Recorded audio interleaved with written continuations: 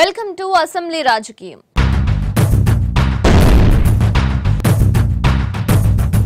Visakha south Visakha నగరంలో అదో చారిత్రక ప్రదేశం.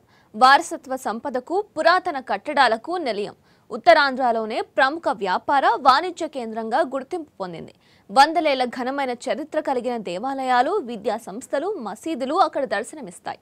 అక్కడి నుంచే మహామహులు రాష్ట్ర రాజకీయాల్లో తమ ప్రస్థానం కొనసాగించారు. ఆ ప్రదేశమే విశాఖ దక్షిణ నియోజకవర్గం. వన్ టౌన్గా ఓల్డ్ సిటీగా పిలుచుకునే విశాఖ సౌత్ సామాజిక భౌతిక రాజకీయ అంశాలను ఇప్పుడు చూద్దాం.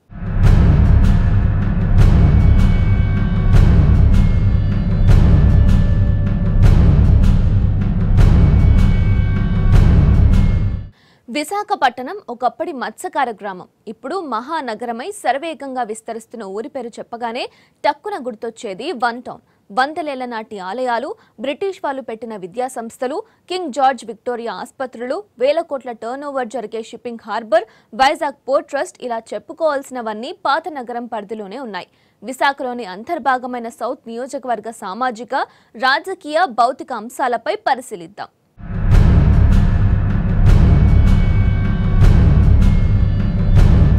వెల్కమ్ టు అసెంబ్లీ రాజకీయం ఈరోజు మన ఎపిసోడ్లో విశాఖ నగరంలో ఉన్నటువంటి దక్షిణ నియోజకవర్గంలో ఉన్న పరిస్థితులు రాబోయే ఎన్నికల్లో పరిస్థితి ఎలా ఉంటుంది ప్రస్తుత ఎమ్మెల్యే పనితీరు ఏ విధంగా ఉంది అనేది సమగ్రంగా ఈ రోజు అసెంబ్లీ రాజకీయ ఎపిసోడ్లో చూద్దాం. విశాఖపట్నం ఒకప్పటి మత్స్యకార గ్రామం ఇప్పుడు మహానగరంగా మారింది. పారిశ్రామికీకరణ తర్వాత విపరీతంగా పెరిగిన వలసలతో ఇప్పుడు శరవేగంగా విస్తరిస్తోంది. నగరం పరిధి ఎంత పెరిగినా ఇప్పటికీ విశాఖ అంటే గుర్తొచ్చేది పాత నగరమే. వందల ఏళ్ళ క్రితం వెలిసిన ప్రముఖ దేవాలయాలు బ్రిటిష్ కాలంనాటి విద్యాసంస్థలు విద్యా సంస్థలు భిన్నత్వంలో ఏకత్వానికి నిలువుటద్దంగా కనిపించే ఆధ్యాత్మిక వాతావరణం ఇక్కడ ఉంటుంది. ఉత్తరాంధ్రకు ఆరోగ్యప్రదాయని కింగ్ జార్జ్ ఆసుపత్రి విక్టోరియా ప్రసూతి వైద్యశాల పాత నగరంలోనే ఉన్నాయి. వేలాది కోట్ల రూపాయల మత్స్య ఉత్పత్తుల టర్నోవర్ జరిగే ఫిషింగ్ హార్బర్ దేశంలోనే టాప్ ఫైవ్ పోప్స్లో ఒకటైన వైజాగ్ పోర్ట్ ట్రస్ట్ ఉత్తరాంధ్రకే పెద్ద వ్యాపార కేంద్రంగా గుర్తింపు పొందిన జగదాంబ సెంటర్ పూర్ణ మార్కెట్ ఇలా చెప్పుకుంటూ పోతే పాత నగరంలో ప్రతి గల్లీది ఓ ప్రత్యేకతే. ఇక్కడి Waltair railway station Kurupam market Daspalla Rajmahal town hall ఇలా రాచరికం నాటి ఛాయలు ఆధునిక పోకడ్లు కలగలిసిన ప్రత్యేక ప్రదేశంగా ఓల్డ్ సిటీ కనిపిస్తుంది.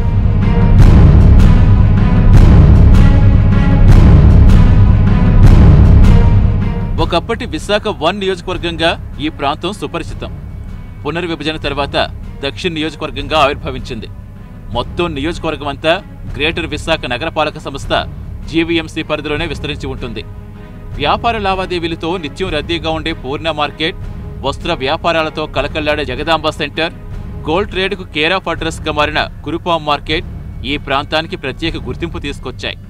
కోట వీధిలో ముస్లింలు పెద్ద జాలరిపేటలో మత్స్యకారులు వైశ్యులు యాదవులు కాపులు శెట్టిబలజలు పద్మశాలీలు రెల్లి వీధిలో ఎస్సీలు ప్రధాన కులాలు. వ్యాపారాలే జీవనాధారం ఎంచుకున్న అనేక కుటుంబాలు వాటిపై ఆధారపడ్డ వేలాది మంది ఇక్కడ జీవనం సాగిస్తున్నారు. హోల్సేల్ కూరగాయలు స్ట్రీట్ వెండర్స్ ఫిషింగ్ ఎక్స్పర్ట్స్ వీపీటీలో ఉద్యోగ ఉపాధి అవకాశాలను వెతుక్కుని వచ్చి స్థిరపడ్డ వాళ్ళు బంగారం వర్తకులు గోల్డ్ స్మిత్స్ పాత నగరంలో అధికంగా కనిపిస్తారు. సిటీలో ఫేమస్ షాపింగ్ మాల్స్ థియేటర్స్ వివిధ కీలక కార్యాలయాలు ఈ నియోజకవర్గం పరిధిలోనే కనిపిస్తాయి.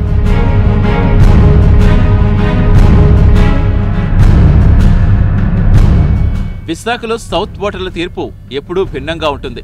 పార్టీల ఈక్వేషన్స్ కంటే అభివృద్ధి సమర్థ నాయకత్వానికే ఇక్కడ పట్టం కడుతూ ఉంటారు జనం.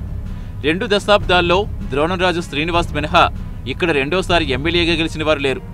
రెండు వేల పద్నాలుగు ఎన్నికల నాటికి ఈ నియోజకవర్గంలో ఓటర్ల సంఖ్య లక్ష ఎనభై తొమ్మిది వేల ఎనిమిది వందల ముప్పై ఎనిమిది మంది.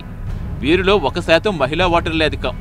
ఇక్కడ పురుష ఓటర్లు తొంభై నాలుగు వేల రెండు వందల యాభై ఒక్క మంది కాగా మహిళలు తొంభై ఐదు వేల ఎనభై ఏడు మంది.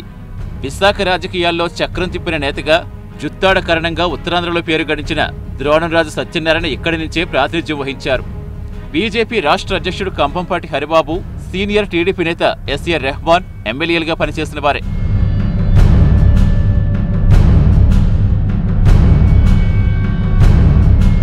విశాఖ అసెంబ్లీ నియోజకవర్గం పంతొమ్మిది వందల యాభై ఆరులో ఏర్పడింది. పంతొమ్మిది వందల అరవై ఏడు ముందు వరకు ఒకే నియోజకవర్గంగా ఉన్న విశాఖ నగరం విస్తరించడంతో విశాఖ వన్ విశాఖ టూ నియోజకవర్గాలుగా విభజించారు. ఒకప్పటి వన్ సెగ్మెంటే రెండు వేల తొమ్మిదిలో జరిగిన నియోజకవర్గాల పునర్విభజన తర్వాత దక్షిణంగా మారింది. మొత్తం జీవీఎంసీ పరిధిలోనే ఉంటుంది. పదకొండు డివిజన్లు పూర్తిగాను రెండు డివిజన్లు పాక్షికంగాను ఈ నియోజకవర్గం పరిధిలోనే ఉన్నాయి. మత్స్యకారులే ఎక్కువగా ఉంటారు. వైశ్యులు యాదవులు కళింగులు కాపులు శెట్టిబలిజలు పద్మశాలీలు ఎస్సీల ప్రభావం ఎక్కువగా ఉంటుంది. మొత్తం పదిహేడు సార్లు ఎన్నికలు జరగ్గా KMPP PSP Indira Congress independent BJP పార్టీలు ఒక్కోసారి గెలుపొందాయి. కాంగ్రెస్ పార్టీ ఎనిమిది సార్లు గెలవగా టీడీపీ నాలుగు సార్లు విజయం సాధించింది.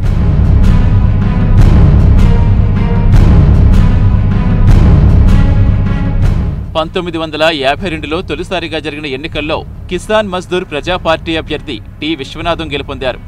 ఆ తర్వాత యాభై మూడు ఉప ఎన్నికలు నిర్వహించగా ప్రజా సోషలిస్ట్ పార్టీ అభ్యర్థి విశ్వనాథం గెలుపొందారు. ఇక పంతొమ్మిది వందల యాభై ఐదు అరవై రెండులో కాంగ్రెస్ అభ్యర్థి ఏవీబీ రావు గెలుపొందారు. అరవై ఏడులో విశాఖ అసెంబ్లీ నియోజకవర్గాన్ని విశాఖ వన్ విశాఖ టూ సెగ్మెంట్లుగా విభజించారు. పంతొమ్మిది వందల అరవై ఏడులో విశాఖ వన్ నుంచి ఇండిపెండెంట్ అభ్యర్థి టి విశ్వనాథం ఎమ్మెల్యే అయ్యారు. తిరిగి అదే ఏడాది జరిగిన ఉప ఎన్నికల్లో కాంగ్రెస్ అభ్యర్థి భానోజీరావు గెలుపొందారు. పంతొమ్మిది వందల డెబ్బై రెండులో కాంగ్రెస్ పార్టీ అభ్యర్థి ఎంఆర్ డీన్ ప్రాతినిధ్యం వహించారు. ఇక డెబ్బై ఎనిమిదిలో ఇందిరా కాంగ్రెస్ అభ్యర్థి ఆల్వార్ దాస్ గెలిచారు. ఎనభై మూడులో టీడీపీ అభ్యర్థి గ్రంథి మాధవి విజయం సాధించగా ఎనభై ఐదులో అదే పార్టీకి చెందిన అల్లు భానుమతి గెలుపొందారు. ఇక ఎనభై తొమ్మిదిలో కాంగ్రెస్ అభ్యర్థి విజయలక్ష్మి ఎమ్మెల్యేగా గెలుపొందారు. ఇక తొంభై నాలుగులో టీడీపీ అభ్యర్థి షేక్ అబ్దుల్ రెహమాన్ ప్రాతినిధ్యం వహించారు. ఇక తొంభై తొమ్మిదిలో బీజేపీ అభ్యర్థి కంభంపాటి హరిబాబు ఎమ్మెల్యేగా గెలుపొందారు. రెండు వేల నాలుగులో కాంగ్రెస్ అభ్యర్థి జుత్తాడ కారణంగా పేరుగాంచిన ద్రోణరాజు సత్యనారాయణ తన సత్తా చాటారు. తన పదవీకాలం ముగియకు ముందే ఆయన మరణించడంతో రెండు వేల ఎనిమిదిలో ఉప ఎన్నిక నిర్వహించారు. అప్పుడు జరిగిన బై ఎలక్షన్స్లో కాంగ్రెస్ అభ్యర్థిగా పోటీ చేసిన ఆయన కుమారుడు శ్రీనివాస్ గెలుపొందారు. మళ్ళీ రెండు వేల తొమ్మిదిలో జరిగిన నియోజకవర్గాల పునర్విభజనలో విశాఖ వన్ విశాఖ సౌత్ నియోజకవర్గంగా ఆవిర్భవించింది. రెండు వేల తొమ్మిదిలో జరిగిన ఎన్నికల్లో కాంగ్రెస్ అభ్యర్థి ద్రోణంరాజు శ్రీనివాస్ మరోసారి అసెంబ్లీలో అడుగుపెట్టారు. రెండు వేల పద్నాలుగు ఎన్నికల్లో గెలిచిన టీడీపీ అభ్యర్థి వాసుపల్లి గణేష్ ప్రస్తుత ఎమ్మెల్యేగా కొనసాగుతున్నారు.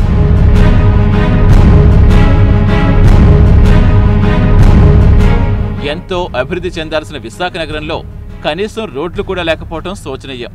ప్రపంచంలోనే పేరుగాంచిన విశాఖ అన్ని రంగాల్లోనూ అభివృద్ధి చెందాల్సి ఉంది.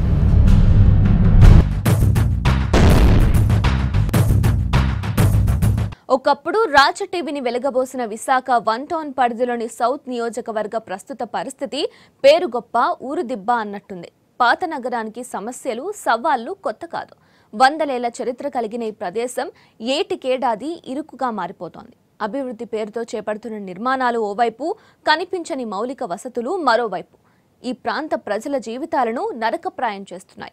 ఈ ప్రాంత ప్రజలు అనేక ప్రధానమైన సమస్యలతో సతమతమవుతున్నారు.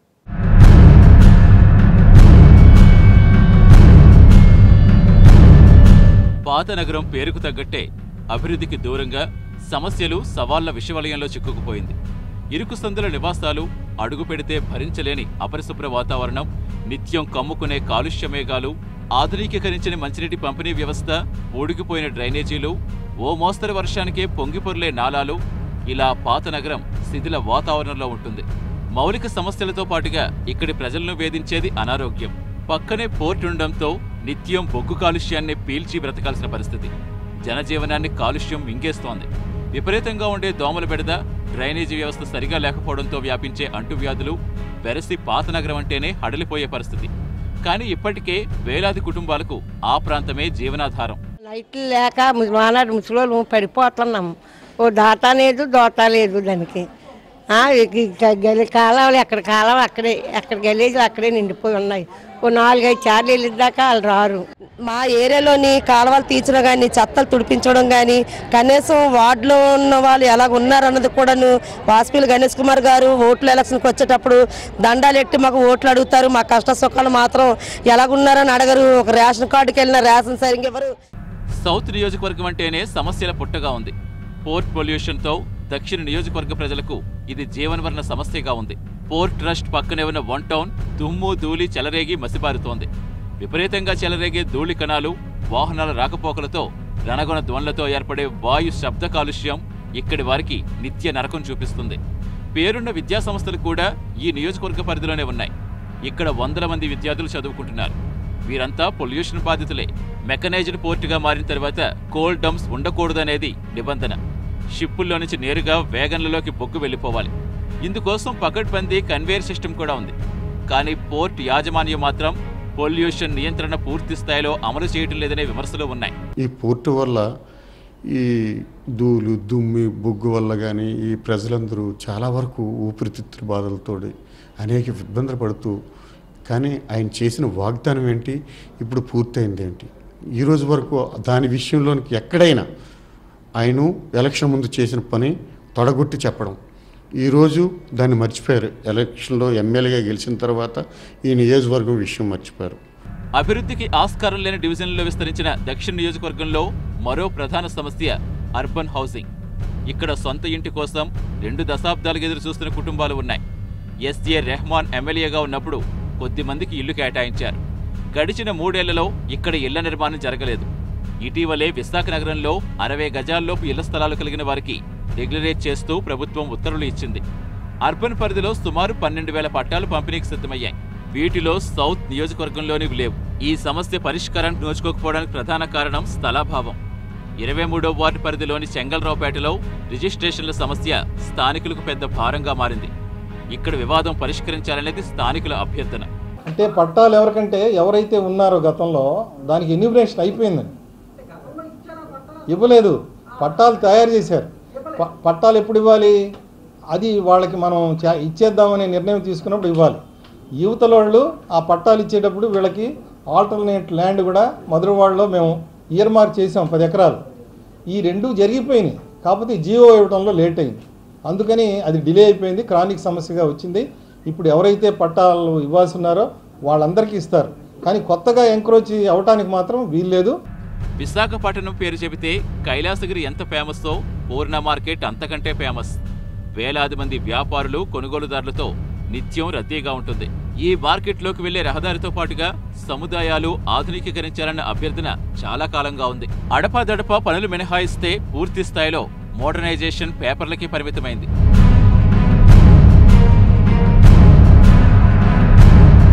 జగదాంబ జంక్షన్ నుంచి ఓల్డ్ పోస్ట్ ఆఫీస్ వరకు ఉన్న రహదారి విస్తరణ ఒక సవాల్గా మారింది. సుమారు ఐదు కిలోమీటర్లు ఉండే ఈ రహదారికి ఇరువైపులా వన్ టౌన్ విస్తరించి ఉంది. ఇక్కడే బంగారం వ్యాపారాలు బట్టల షాపులు వందల సంఖ్యలో ఉంటాయి. వీటిపై ప్రత్యక్షంగానూ పరోక్షంగానూ ఆధారపడి వేల మంది జీవిస్తున్నారు. ఈ రహదారిని విస్తరిస్తే వన్ టౌన్కు న్యూ టౌన్కు మధ్య రాకపోకలు మరింతగా విస్తరిస్తాయి. వంద అడుగుల రహదారి నిర్మాణాన్ని స్థానికులు వ్యతిరేకిస్తున్నారు. దీనివల్ల తమ ఉపాధి గండిపడుతోందనే ఆవేదన వారిలో కనిపిస్తోంది. మరి జగదాంబ మొదలుకొని వాటి వీధి వరకు ఉన్నటువంటి ఈ రోడ్ని వంద అడుగులు చేయాలని ఒక ఆలోచన ఎనభై అడుగులని ఒకసారి అరవై అడుగులు ఒకసారి మరి మాస్టర్ ప్లాన్ ప్రకారంగా వంద అడుగులు ఉన్నది వంద అడుగులు చేయాలని ముందుగా ఒక తీర్మానం తీసుకొచ్చారు. తీసుకొస్తే మరి వర్తకులందరూ కూడా మేమంతా కలిసి వ్యతిరేకించాం. ఎందుకంటే మరి జగదాంబ మొదలుకొని వాటి వీధి దగ్గరకు వచ్చేసరికి సుమారు దీని మీద ఆధారపడి లక్ష మంది ఉన్నారు కుటుంబం అంతా కూడా నా కుటుంబాలందరూ కూడాను. లక్ష మంది జనాలు రోడ్డు పాలైపోతారు. స్థానిక వ్యాపారులతో ఎమ్మెల్యే చర్చలు జరిపారు. కొన్ని చోట్ల వ్యాపారులకు ఇబ్బంది లేక అలైన్మెంట్ కుదించేందుకు ఒప్పించారు. కానీ ఇప్పటి వరకు సర్వే మాత్రమే జరిగింది. ఈ రోడ్డు విస్తరణ పూర్తయితే వన్ టౌన్లో ఉండే హెరిటేజ్ సైట్స్ బిజినెస్ సెంటర్స్కు మరింత గుర్తింపు లభిస్తుంది. ఇరవై ఆరో వార్డులో మోటార్ వర్కర్స్ స్క్రాప్ వ్యాపారులు అధికంగా ఉన్నారు. ఇక్కడి స్థలాలు లీజుకు తీసుకుని వ్యాపారాలు సాగిస్తూ ఉంటారు. కొబ్బరి తోట సీహార్స్ జంక్షన్స్ మధ్య వ్యాపారం నిర్వహించే వారిలో ముస్లింలే అధికంగా ఉంటారు. ఇక్కడ మైనార్టీలకు ఎమ్మెల్యే పూర్తి స్థాయి భరోసా కల్పించలేకపోయారనే విమర్శ ఉంది. జగదాంబ నుండి పాత పోస్ట్ వరకు కూడా హండ్రెడ్ ఫీట్ రోడ్ మాస్టర్ ప్లాన్లో ఉండాలని చెప్పేసి నేను స్వయంగా అసెంబ్లీలో మాట్లాడి దాన్ని వర్కౌట్ చేయడం కోసం చెప్పేసి ముందుకు వెళ్తే అక్కడుండే స్థానికులు ముఖ్యంగా వ్యాపారస్తులు దాన్ని అడ్డుకోవడం జరిగిందన్నమాట. అనేక రకాలుగా నేను వాళ్ళని ఒప్పించడానికి ప్రయత్నాలు చేస్తాం. మూడు మీటింగ్స్ ఆర్గనైజ్ చేస్తాం. మీటింగ్ వరకు వస్తారు అగ్రి అవుతున్నారు. తర్వాత ఏమో ఇంటర్నల్గా వాళ్ళు వెళ్ళి ఎంత మెయిన్ మైండెడ్ కార్నర్ అయిపోయారంటే కేవలం ఇద్దరు ముగ్గురు వాళ్ళనే అది అవుతుంది. మిగతా వాళ్ళందరూ కూడా వాళ్ళు ఒప్పుకునే దాన్ని వీళ్ళు వెళ్ళి ఇళ్ళకి వెళ్ళి కూడా మారుస్తున్నారని చెప్పి కూడా మాకుంది. సౌత్ నియోజకవర్గంలో అత్యధికంగా కనిపించేది మత్స్యకారులు. రెల్లివీధి జాలరిపేటల్లో వీరిదే డామినేషన్. మత్స్యకారుల్లో రెండు ఉపకులాలు ఉన్నాయి. జాలర్లు ఓడబలిజ. ఈ సామాజిక వర్గంలో ఎక్కువ శాతం మందికి ఫిషింగ్ హార్బరే జీవనాధారం.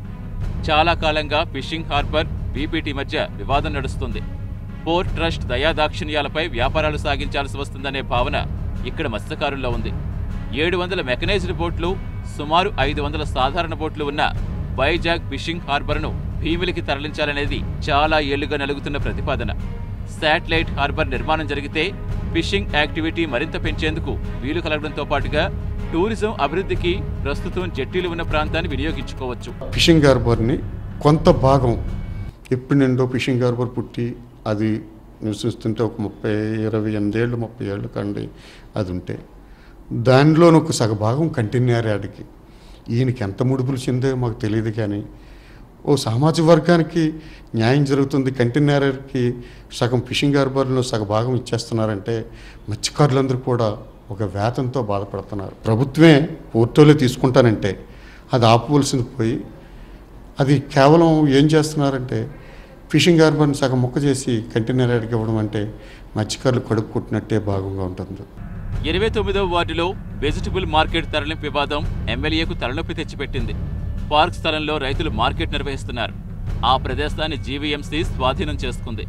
దీంతో రైతులు రోడ్డున పడ్డారు. వ్యాపారాలు ప్రస్తుతం రోడ్డు పక్కనే నిర్వహిస్తున్నారు. ఫలితంగా ట్రాఫిక్ ఇబ్బందులు ఎదురవుతున్నాయి.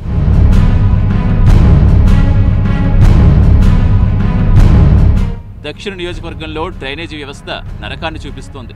ద్రోణంరాజు శ్రీనివాస్ హయాంలో ప్రధాన మురికి కాలువల విస్తరణ జరగ్గా ప్లాస్టిక్ వ్యర్థాలతో మూసుకుపోయి ఓల్డ్ సిటీ కంపుకొడుతుంది ఇక వీధుల్లో పరిస్థితి మరీ దయనీయంగా ఉంది. అసలే ఇరుకు వీధులు కావటం ప్లానింగ్ లేని ఇళ్ళ నిర్మాణం భూగర్భ డ్రైనేజ్ వ్యవస్థ నిర్మించే అవకాశం లేకపోవడంతో ప్రజలు పడుతున్న అవస్థలు అన్నీ ఇన్ని కావు. ఇక జ్ఞానాపురం కొత్త రోడ్ ఏరియాల్లో మోస్తరు వర్షానికే కాలనీలన్నీ జలమయమైపోతాయి. పోర్ట్ ఏరియాలో నాలాను ఆధునీకరించడం మేజర్ డ్రైన్లు అభివృద్ధి చేయటం వల్ల ఈ సమస్య తీరిపోయిందంటున్నారు MLA.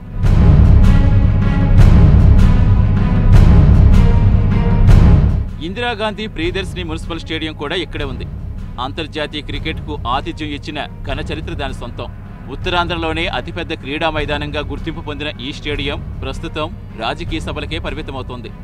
అభివృద్ధి చెయ్యకపోవటం కాలుష్యం కారణంగా ఇక్కడ క్రీడలకు ఆస్కారం లేకుండా పోయింది. ఇది తప్ప దక్షిణ నియోజకవర్గంలో మరో క్రీడా ప్రాంగణం కూడా లేకపోవటం వెలితిగా మారింది. మేము ఆ రోజు స్టేడియంకి స్టేడియంకి దాదాపు కార్పొరేషన్ నుంచి శ్యాంబాబు గారు ప్రిన్సిపల్ సెక్రటరీగా ఉండేవారు సత్యనారాయణ గారు కమిషనర్గా ఉండేవారు ఇద్దరిని కూర్చోపెట్టి మాట్లాడి నాలుగున్నర కోట్లతో దాన్ని ఆధునీకరించాం. అలాగే అక్కడ ఉన్నటువంటి ఆ పైన ఇది కూడా బిల్డింగ్ కూడా ఒక కోటి డెబ్బై ఐదు లక్షలు ఉడావాళ్ళ నుంచి తీసుకుని దానికి నిధులు కేటాయించి టెండర్ అయి పనులు ప్రారంభించారు దానికి.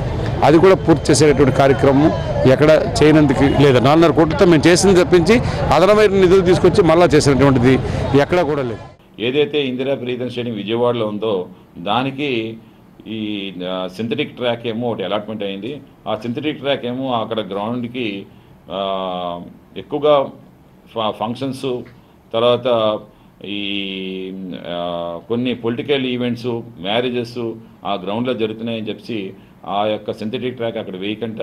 అది ఇక్కడికి పంపించాలని చెప్పి కూడా ఒక ఆలోచన కూడా చేశారు.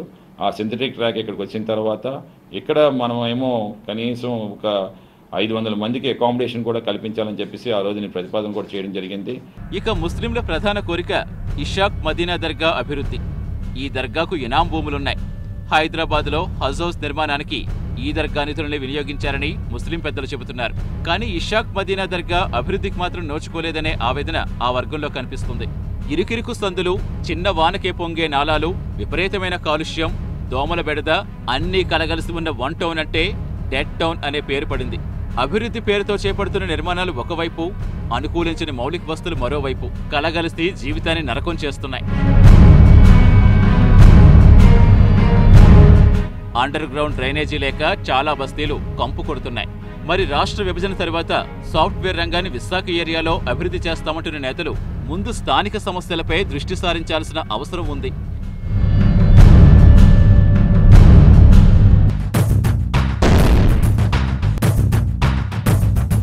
విశాఖ అభివృద్ధి రాజకీయ నాయకుల తీరుతెన్నులు ఎలా ఉన్నాయి?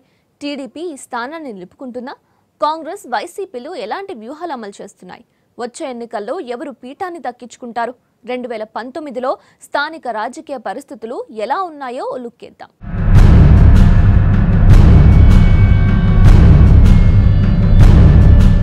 ఎన్నికలు జరిగిన ఈ మూడేళ్ళలో వన్ టౌన్ పరిస్థితుల్లో ఏమాత్రం మార్పు రాలేదు. నియోజకవర్గ అభివృద్ధిపై ఎమ్మెల్యే పూర్తి స్థాయిలో దృష్టి సారించలేకపోయారనే విమర్శలు ఉన్నాయి. పాత నగరం అంటేనే డెడ్ సిటీ మార్క్ వచ్చేసిందనే ఆవేదన ఎక్కువ మందిలో కనిపిస్తోంది.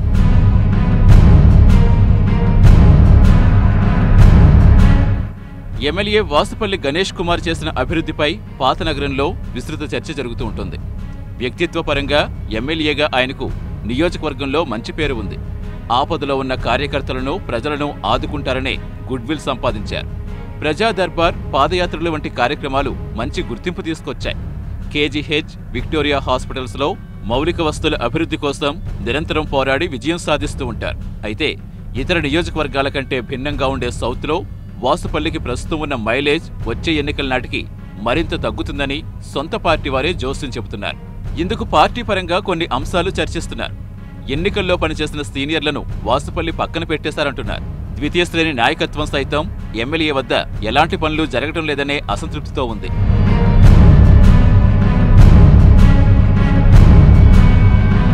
వాసుపల్లి గణేష్ కుమార్పై దక్షిణ్ నియోజకవర్గం ప్రజల్లో భిన్నమైన అభిప్రాయాలు వ్యక్తమవుతున్నాయి. వ్యక్తిగతంగా మంచి పేరు ఉన్నప్పటికీ సమస్యల విషయంలో ఉదాసీనతనే విమర్శలు ఎదుర్కోవాల్సి వస్తోంది. అలాగే మత్స్యకారుల్లోనూ ఓ వర్గం వాసుపల్లి వైఖరి పట్ల గుర్రుగా ఉంది. అందరినీ కలుపుకుని పోవడం తన దృష్టికొచ్చిన సమస్యలు పరిష్కారం అయ్యే వరకు ఫాలోఅప్ చేయకపోవడం వంటి ఇబ్బందులు ఉన్నాయని అంటున్నారు. ఇదిలా ఉంటే ఎమ్మెల్యే మాత్రం విశాఖ అభివృద్ధికి వైసీపీ కాంగ్రెస్ నేతలు అడ్డుపడుతున్నారంటున్నారు. పూర్ణ మార్కెట్ లోపలికి వెళ్ళే రహదారితో పాటుగా సముదాయాలు ఆధునీకరించాలనే అభ్యర్థన చాలా కాలంగా ఉంది. అడపాదడపా పనులు మినహాయిస్తే పూర్తి స్థాయిలో మోడలైజేషన్ పేపర్లకే పరిమితమైంది.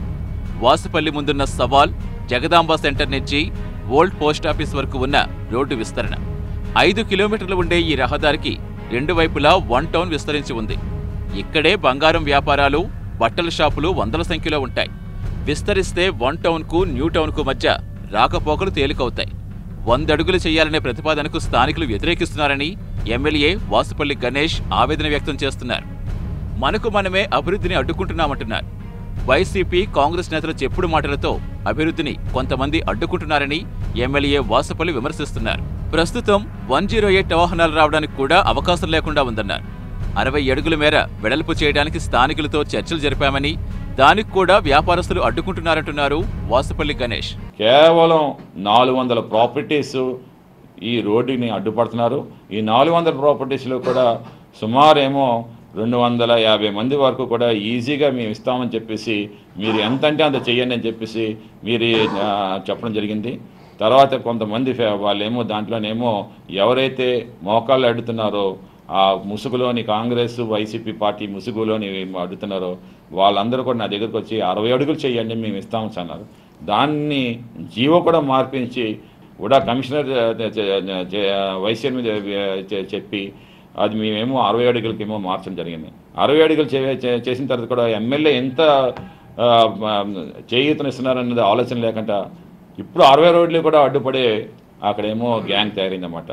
వీళ్ళ మూర్ఖత్వానికి ఒక పెద్ద సలాం కొట్టాలన్నమాట. కానీ ఏదైనా సరే చేసి తీర్తాం ఎంతైనా సరే ఎదురెళ్తాం. మాజీ ఎమ్మెల్యే ద్రోణరాజు శ్రీనివాస్కు అనూహ్యంగా ప్రజల్లో ఆదరణ పెరుగుతోంది. ఆయన హయాంలో జరిగిన అభివృద్ధిని ప్రజలు గుర్తు చేసుకుంటున్నారు. వ్యక్తిగతంగా సౌమ్యుడు కావటం ప్రభుత్వ పథకాలు నియోజకవర్గంలో విస్తృతంగా అమలు చేయటం ఆయనకు ప్లస్ పాయింట్లుగా మారాయి. ద్రోణంరాజు శ్రీనివాస్కు వన్ టౌన్ ప్రజల్లో కనిపిస్తున్న ఆదరణ వచ్చే ఎన్నికల్లో ఆయన ఏ పార్టీ నుంచి బరిలోకి దిగుతున్నారనే దానిపైన ఆధారపడుతుంది. సౌత్లో కాంగ్రెస్ పరిస్థితి మరీ దారుణంగా లేకపోయినా ప్రస్తుతానికి హస్తం గుర్తుపై జనం కసి ఇంకా చల్లారలేదనేది వాస్తవం. గతంలో విశాఖ అభివృద్ధికి నిధులు తీసుకొచ్చామంటున్నారు మాజీ ఎమ్మెల్యే ద్రోణరాజు శ్రీనివాస్. గతంలో విశాఖ వన్ నియోజకవర్గంలో యాభై కోట్లతో అండర్ గ్రౌండ్ డ్రైనేజీ నిర్మించి ఎస్ఎల్ కెనాల్ పురాతన కట్టడాలైన టర్నల్ చౌక్ను ఆధునీకరించామన్నారు. మత్స్యకారులకు షెల్టర్ హోమ్లు నిర్మించి అన్ని వర్గాల అభివృద్ధికి నిధులు తెచ్చామంటున్నారు. డ్వాక్రా బజార్కు అంబికాబాగ్ ఇతర అభివృద్ధి పనులకు కాంగ్రెస్ హయాంలో నిధులు తీసుకొస్తే సక్రమంగా వినియోగించినందున వెనక్కిపోతున్నాయన్నారు.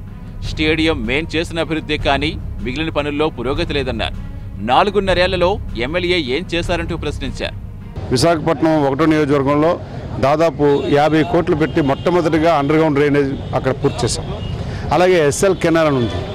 అది ఎప్పటి నుంచో పురాతనమైనటువంటిది చాలా దుర్గంధంతో ఉండేది. దాని దానికి ఐదున్నర కోట్లతో దాన్ని ఆధునీకరించాం. అలాగే పురాతన కట్టడాలు అయితే ఏవైతే ఉన్నాయో టన్నర్ చౌటరీ దానికి డెబ్బై లక్షలు పెట్టి దాన్ని ఆధునీకరించాం. రీడింగ్ రూము దాన్ని డెబ్బై లక్షలు పెట్టి ఆధునీకరించాం. అట్లాగే పురాతన దేవాలయాలు వాటిలో కళ్యాణ మండపాలు కట్టాం. అట్లాగే మత్స్యకారులకి వాళ్ళకి షెల్టర్ హోమ్స్ కట్టాం.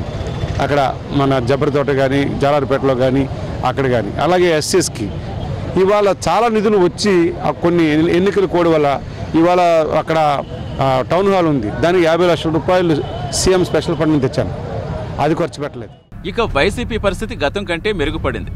ప్రభుత్వ వ్యతిరేకత కనిపిస్తున్న వార్డుల్లో ఆ పార్టీకి ఓటు బ్యాంక్ బలపడుతోంది. అయితే ప్రస్తుతం కన్వీనర్గా ఉన్న కోలా గురువులు మరింత సమర్థవంతమైన నాయకుడిగా గుర్తింపు సంపాదించాలనే అభిప్రాయం ఎక్కువ మందిలో ఉంది. ప్రజారాజ్యం నుంచి ఒకసారి వైఎస్ఆర్సీపీ నుంచి ఒకసారి పోటీ చేసి ఓడిపోయారనే సింపతి ఫిషర్మ్యాన్ కమ్యూనిటీ ఓటింగ్ గురువులకు లాభించే అంశాలు.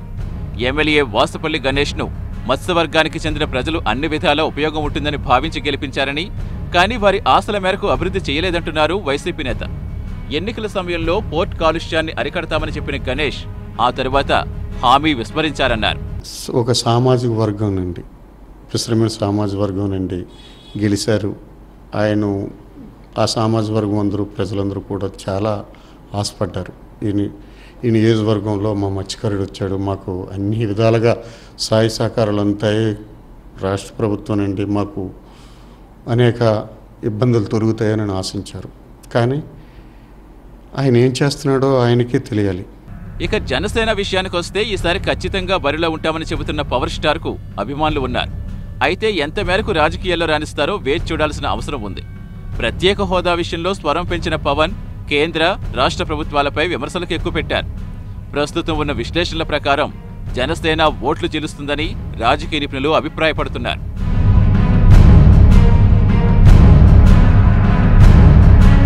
మొత్తం మీద అధికార party MLA Vasupalli Ganesh YCP convener Kola Guruvulu మాజీ ఎమ్మెల్యే ద్రోణంరాజు శ్రీనివాసులు బరిలో ఉంటారని భావిస్తుండటంతో నియోజకవర్గంలో పోటాపోటీ కనిపిస్తోంది. అయితే కాంగ్రెస్ మీద ఉన్న కసి ఇంకా తీరకపోవడంతో రెండు వేల పంతొమ్మిది నాటికి ప్రజలు ఎవరికి పట్టం కడతారో వేచి చూడాల్సిన పరిస్థితులు ఉన్నాయి. విశాఖ దక్షిణ నియోజకవర్గంలో ఎక్కువగా మత్స్యకారులు ఉంటుంటారు. అదే మత్స్యకార సామాజిక వర్గానికి చెందినటువంటి ఎమ్మెల్యే వాసుపల్లి గణేష్ కుమార్ ఇటీవల కొన్ని విమర్శలు ఎదుర్కొంటున్నారు. అదేవిధంగా ఈ మత్స్యకారుల నుంచి కొంత వ్యతిరేకత కూడా ఏర్పడింది. ఎందుకంటే కేవలం మత్స్యకారులంతా కూడా ఎస్టీలో చేర్చాలని డిమాండ్ తోటి ఏదైతే ప్రభుత్వం ఎన్నికల ముందు హామీ ఇచ్చిందో దాన్ని నెరవేర్చాలని చెప్పి డిమాండ్ చేశారు. దానికి మద్దతుగానే స్థానిక ఎమ్మెల్యే వాళ్ళందరినీ తీసుకుని ఇటీవలే ముఖ్యమంత్రి దగ్గర కూడా తీసుకెళ్ళడం జరిగింది. అయితే అక్కడ అనూహ్యంగా ముఖ్యమంత్రి దగ్గర నుంచి వాళ్ళకు కొంత వ్యతిరేకత రావడంతో అందరూ కూడా ఒక చాలా భారీ ఎత్తున నిరసనలు కూడా దిగారు. ఈ నేపథ్యంలో నిరసనలకి స్థానిక ఎమ్మెల్యే సపోర్ట్ కూడా ఇవ్వకుండా కొంచెం దూరంగా ఉండడంతో ఈ మధ్య కొంత వరకు కూడా మత్స్యకారులంతా కూడా ఆయనకి వ్యతిరేకంగా కూడా ఉండడం జరిగింది. ఈ నేపథ్యంలో పరిస్థితి పరిస్థితులను బట్టి రాబోయే ఎన్నికల్లో ఆయనకి ఏ విధంగా ఉంటుంది సపోర్ట్ అన్నది కూడా ఒక విధంగా ప్రశ్నార్థకంగా చెప్పొచ్చు. ప్రస్తుతం ఏదైతే మాత్రం కొంతమంది ఆయనకి సపోర్ట్గా ఉన్నారు కొంతమంది ఆయన పాలనపై వ్యతిరేకత చూపిస్తున్నారు మరి కొంతమంది మరొకరి వైపు మొగ్గు చూపుతున్నారు. ఇది ఇవాళటువంటి ఐ న్యూస్ అసెంబ్లీ రాజకీయం. మరో అసెంబ్లీ రాజకీయ అంశాల్లో మళ్ళీ కలుద్దాం. నమస్తే. రెండు వేల పంతొమ్మిది ఎన్నికల్లో ఎవరెవరు టికెట్ను ఆశిస్తున్నారు? ఎవరెవరు బరిలో నిలుస్తారో ఇప్పుడు ఒకసారి చూద్దాం.